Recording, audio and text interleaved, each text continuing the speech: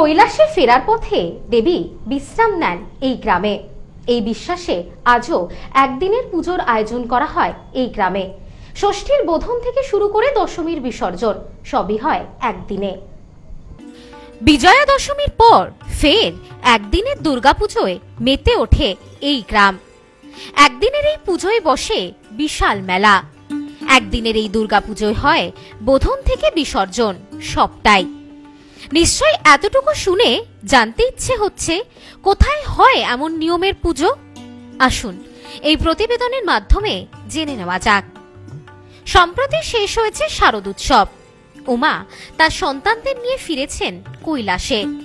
কিন্তু পুজো শেষ হয়েও শেষ হয় না, তিস্তা পারে ফের দুর্গাপুজোয় মেতে উঠল জলপাইগুড়ির তিস্তা পার শারদিয়ার পর ভান্ডানি ভান্ডানির পর এবার সিদ্ধবাড়ির দুর্গাপুজোয় মাতল জলপাইগুড়ির রংধামালি এলাকার আপামোর মানুষজন। পুজো উপলক্ষে এলাকার মানুষের উৎসাহের খামতি নেই। এদিন পাতকাটা, রংধামালি প্রভৃতি এলাকার বাসিন্দারা সকাল সকাল নতুন জামাকাপড় পরে উপস্থিত হয়েছেন পুজো প্রাঙ্গণে। সিদ্ধ বাড়ির একদিনের দুর্গাপুজোকে কেন্দ্র করে আজ এমনই চিত্র দেখা গেল সেখানে। জানা যায় দেশ স্বাধীনের আগে একদিনের দুর্গাপুজোর সূচনা করেছিলেন গ্রামের জমিদার প্রয়াত সিদ্ধনাথ রায়।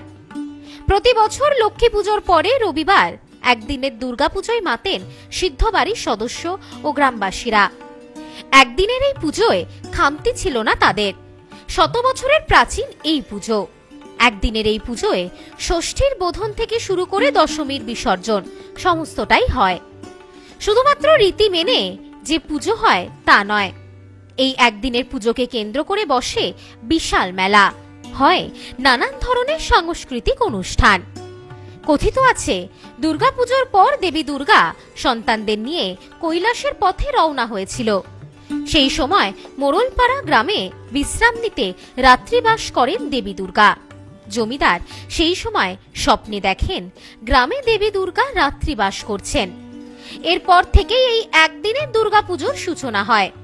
গ্রামবাসীদের দাবি, পুজোর সময় কর্মসূত্রে যারা বাইরে থাকেন, অনেকেই গ্রামে আসতে পারেন না। কিন্তু সিদ্ধ বাড়ির পুজোয় গ্রামের সকলে, বিশেষ করে গ্রামের বিবাহিত মেয়েরাও শ্বশুর বাড়ি থেকে গ্রামের বাপের বাড়ি ফিরে আসেন। এদিনের এই পুজোকে কেন্দ্র করে মিলন মেলায় সামিল হন সকলে। বংশ পরম্পরায় সেই পুজোর ধারা এখনও ধরে রেখেছেন বর্তমান প্রজন্ম। যেহেতু এই পুজো সিদ্ধবাবু শুরু করে, সেই কারণে বর্তমানে এই পুজো সিদ্ধবাড়ির দুর্গাপুজো বলেই পরিচিত এলাকায়। কোজাগরি লক্ষ্মী পুজোর পরের রবিবার এই দুর্গাপুজো অনুষ্ঠিত হয়। এই বিষয়ে সিদ্ধবাড়ির এক পুত্রবধূ জানান। যে মাটিটা, মাটিটাও বাইরের থেকে মাটিটা ওই যে পার্শ্ববর্তী যে অঞ্চলে যে স্থান আছে আর কি। মানে প্রত্যেক তারপরে ওখান থেকে এনে এক মাস, দেড় মাস জ্বালা বানাতো তারপরে যাই হোক আমাদের যে পিতামহ চলে এসছে।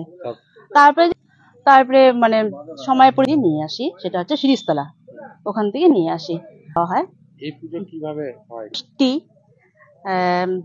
দশমী চারটা একদিনেই হয় কিন্তু ভাগ ভাগ করে হয়।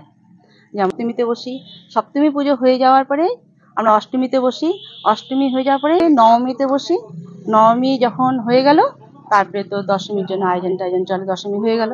দশমী হয়ে যাওয়ার পরে তারপরে তো হতে হুম অন্য আরতি? হ্যাঁ ওগুলো প্রতিযোগিতা রাতে সারা ব্যাপী যেটা হয় নাচ গান মানে ফাংশন হয় আর কি ভাইয়া সংগীত হয়। তার পাশাপাশি যেটা হয় সেটা হচ্ছে খুবই ভালো লাগে মানে সবাই দূর দূরান্তের থেকে পুজোর সময় তো এক না কিন্তু এই বাড়ির পুজো হ্যাঁ হ্যাঁ বাড়ির পুজোতে আমরা যে যেখানেই থাকি না কেন আমরা সবাই কি তারপরের দিন হয় মানে সারা ব্যাপী তো ভিড় চলতে থাকল চলতে থাকল, হয়ে গেল। তারপরে যেটা হয়, পরের দিন যেটা হয় মানে প্রতিমা বিসর্জন হলো। হয়ে যাওয়ার পরে তারপরে হ্যাঁ পরের দিন মানে সোমবারে তো না? হ্যাঁ তারপরে সোমবার দিনে যেটা হলো। পাশাপাশি এই বিষয়ে প্রয়াত সিদ্ধনাথ রায়ের পুত্র সুশান্ত কুমার রায় জানান, মূলত বাবার হাত ধরেই পুজোর সূচনা হয়। পুজোর সময় আমাদের বাড়ির সবাই আসে এই পুজোয়। তেমনি আসে গ্রামবাসীরাও। সবাই মিলেমিশে আনন্দ করি। রাতে মেলাও বসে।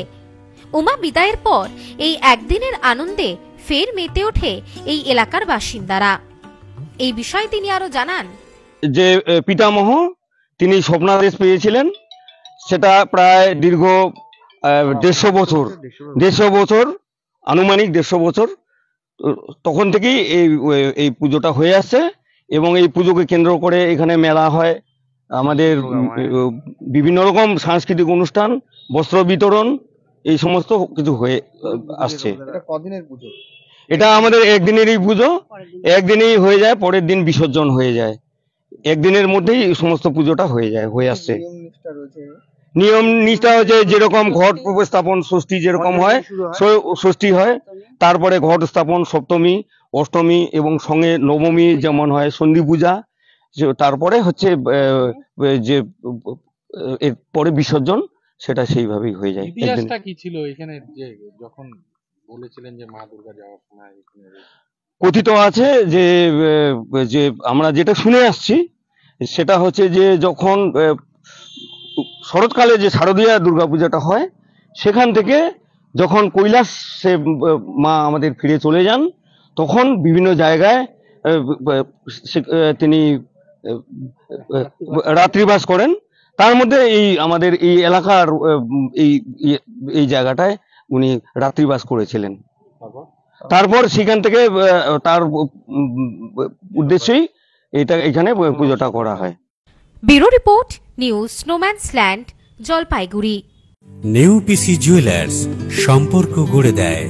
বনগাঁতে আমাদের তিনটি শোরুম প্রতিদিনই খোলা। নেউপিসি জুয়েলার্স বনগা বাটার মোড়। নিউ পিসি জুয়েলার্স ব্রাঞ্চ কুমদিন স্কুলের বিপরীতে। New PC jewellers beauty Motiganj Hatkhola.